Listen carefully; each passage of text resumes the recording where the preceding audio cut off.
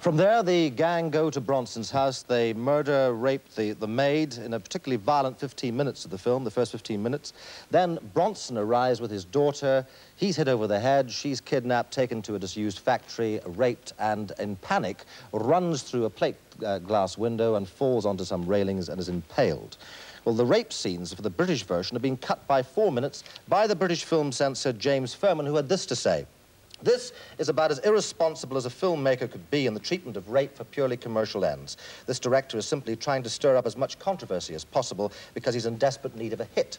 The press in general have been pretty hostile. The Sunday Times.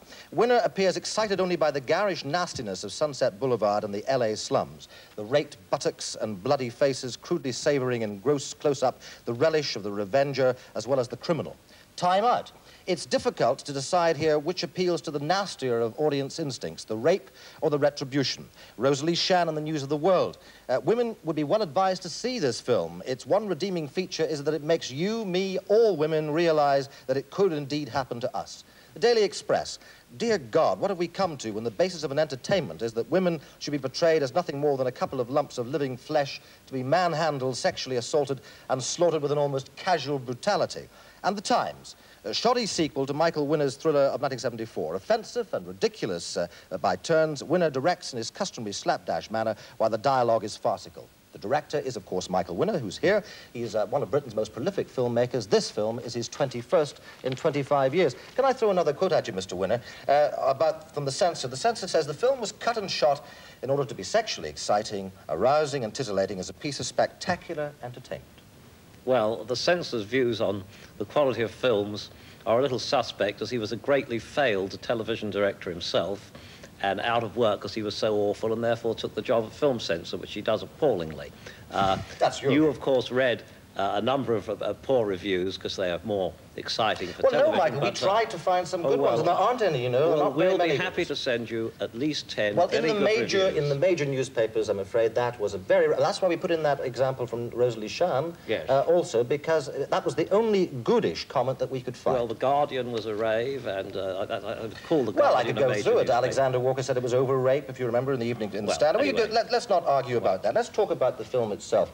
Uh, and I'm just wondering whether you're a little insensitive, because at the moment in this country, there's a debate going on about rape. We've had some pretty horrifying cases, and surely as a filmmaker, you should, should be aware of that. Well, of course I'm aware of it, and filmmakers and dramatists throughout history have always taken their subject matter from what is going on in life and made that into a dramatic story. And regrettably, uh, rape, which is nothing new, regrettably, is a terrible thing, but it does happen.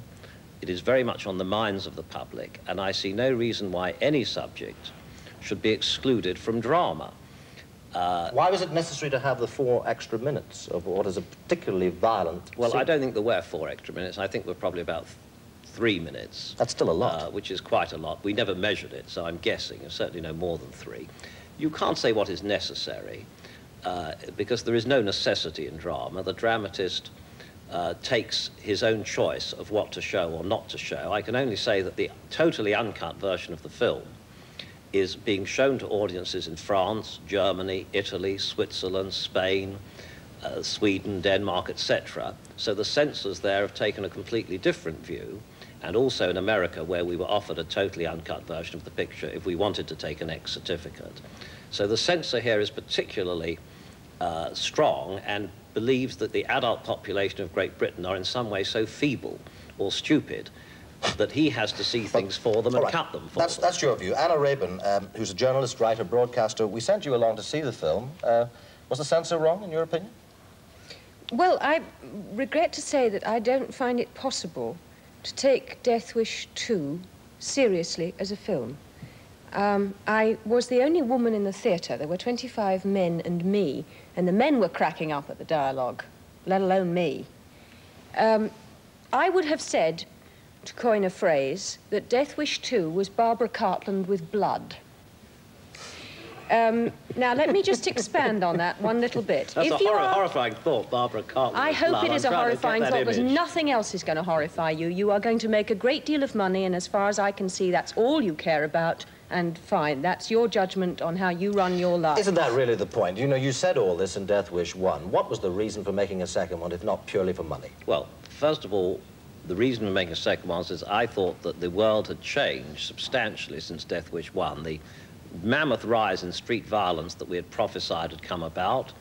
Death Wish 1 was on many of the 10 best of the year film lists in America, was treated very seriously, and I think society has now changed enough eight years later, which is a long time to wait for a sequel, to make a story of some relevance. And the audience is certainly finding that, because the picture is uh, considerably more popular even than the very successful Death Wish 1. I don't know where Anna saw it with 25 people. It must have been very early in the morning. Leicester Square Theatre at 10 past 1. Well, at 10 past 1, I accept that. I'm very on. sorry, Mr. Winner, but I couldn't fit you into my schedule at any other time. Well, 10 past 1 is a very flattering time to be on your schedule. Can I, can, can I throw a point to you, Anna, that in fact Michael Winner made in an article? He said that he believed the film could save women because it will bring home just how awful rape is would you like to say about that? I would like to say that I think we are talking about rape very gently and nicely, and in fact, the sequence, although it involves rape, also involves sodomy, which is something which is not comfortable if you love your partner and wish to be sodomized, and is extremely and excruciatingly painful if you are already in a traumatic situation. So let us stop beating about the bush. It is a very nasty sequence indeed. It is, however, worse than nasty. It is dangerous. It is dangerous because it is coy. You cannot shoot a rape sequence which ever shows female genitalia in a film which is going out on general release because it would be described as pornographic. So what you're doing is you're selling an image of power and violence, which is in fact worse than a real image. It's an acted image, and therefore it is not realistic, and therefore powerless and violent people, and most powerless people are increasingly violent and increasingly desperate for a moment when they feel they have charge of everything, may try something.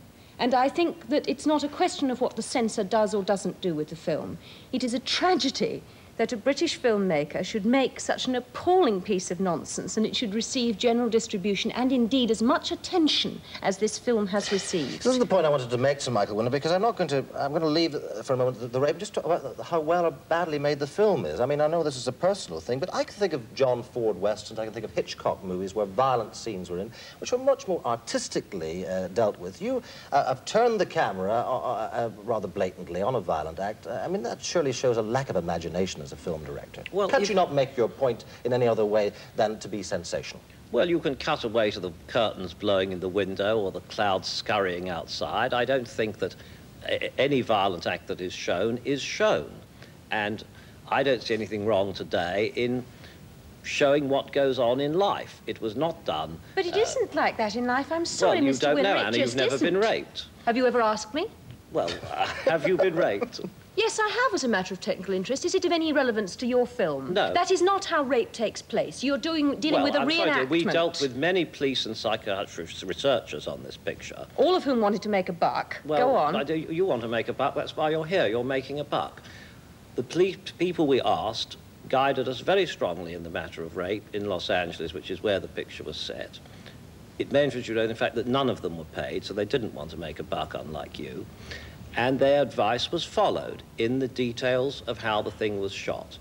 Both but, but Personally, I think that's rather cheap, uh, this idea of buck or whatever. But I it mean, cannot I, make, you cannot shoot rape as rape is. Am I not right? Because if you showed actually the penis entering the vagina, you wouldn't get distribution. Well, I accept that, that we have to... So it's not like it is. It's like as well, much as we can show of it and get it and indeed the... the simulation being shown here is less, is less realistic than what we filmed and which is permitted in all other countries, or nearly every other country, because the censor has made it even less realistic by cutting it, which I think is a mistake dramatically and indeed truthfully. I but I mean, isn't it the, the, the, the centre of the story is not the 15-minute sequence well, which builds up to is no excuse me the 15 minute oh, 15 well, minute felt like opening about an hour I must say. a 15 minute opening sequence which includes the rape sequence. That isn't the movie. The movie is what happens to John to Paul Kersey when he decides that he can Kersey when he decides he can take no more and he becomes, quote unquote, a vigilante.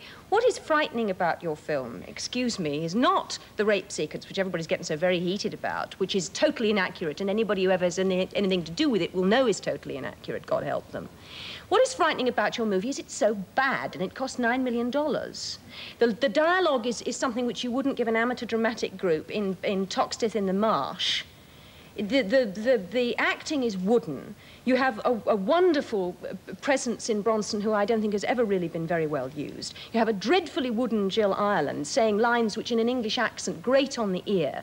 Very uneven cinematography, Not very uneven well, music. What? It's a bad movie. All right, You're most movie. entitled to your opinion, but the public are loving it. The public are totally disagreeing with you in their millions in all the countries that it opens, which because is about six or seven. No, not because it's been sold. You cannot drag people in by selling them anything.